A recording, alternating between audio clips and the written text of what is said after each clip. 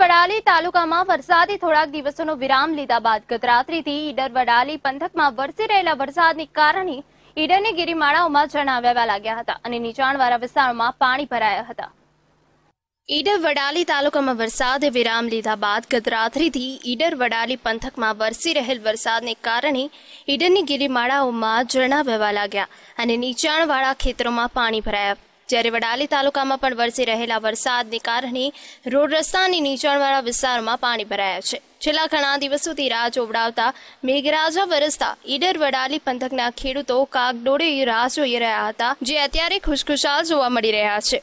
સાબરકાંઠામાં, જિલ્લામાં ઈડર તાલુકામાં જે મેઘરાજાએ છેલ્લા કેટલા સમયથી વિરામ લીધો હતો, પરંતુ ગત રાતથી મેઘરાજાએ ધીમી ધારે વરસાદ શરૂ થતા નદી નદીઓમાં અને અહીંયા તળાવોમાં પાણીના નવા નીર આવ્યા છે. અને નીચાણ નીચાણવાળા જે ખેતરો છે, તે પણ ભરાઈ ગયા છે. ઈડરની જે ગિરિમાળાઓ કહેવાય છે, ઈડરગઢની ગિરિમાળાઓમાં. ઈડરની ઈડરની ગિરિમાળાઓમાં પણ ઝરણા વહી રહ્યા છે.